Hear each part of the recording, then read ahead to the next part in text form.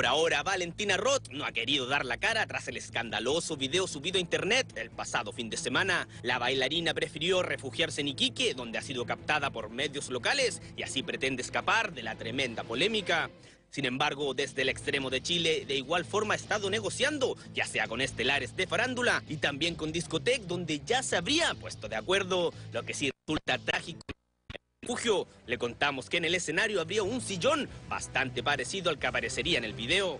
Si bien a esta discoteca le habría costado llegar a un acuerdo con Roth, finalmente ella habría aceptado y ya tendría depositada en su cuenta corriente la mitad del dinero. Obviamente por el tema del proceso del video de Valentina, el, económicamente el precio es un poco mayor al, al habitual. Eh, básicamente Valentina se subió aproximadamente en un 50% más de su tarifa normal. Eh, de restricciones fue eh, un resguardo con la prensa, el cual que no sea tan como más limitado.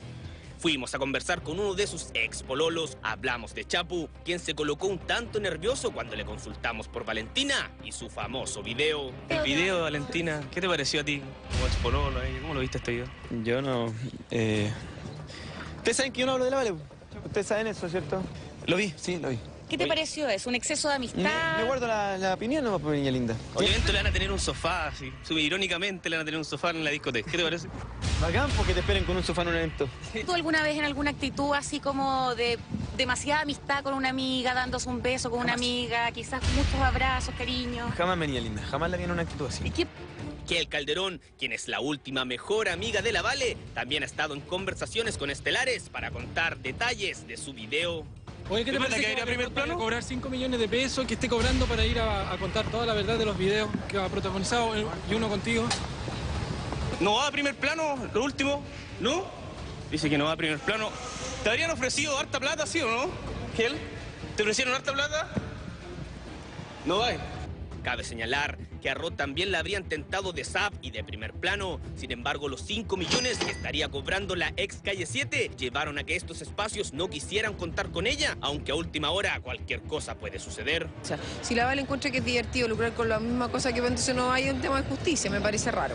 Es que está bien, o sea, es lo último que le queda, pero peor sería que se quede encerrada llorando. ¿Qué va a hacer?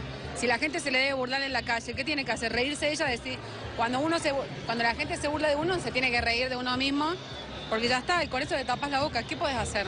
O te vas del país o te reís de vos misma, no te queda otra. Yo creo que es una cabra chica bien inmadura eh, para algunas cosas y muy madura para otras. Eh, a mí me da un poco de pena y sería bien triste por la mamá. A tanto han llegado las declaraciones de Rodolfo Roth, quien aseguró que el futbolista Ignacio Herrera intentó abusar de su hija, que la propia bailarina ahora estudia entablar una demanda, pero no contra el desaparecido delantero de Magallanes, sino en contra de la persona que subió el video a la web. Papá de Valentina dice que supuestamente la violaron. ¿Qué te parece eso? ¿Qué te parecen las palabras de, de Rodolfo Roth? Eh, las palabras son palabras, ¿no? ¿Y tu opinión podría... Sin duda que luego del escándalo del video, ahora llueven las propuestas para Roth, a quien veremos este fin de semana en un sillón, pero esta vez no en el lobby de un departamento, sino que en el escenario de una discoteca.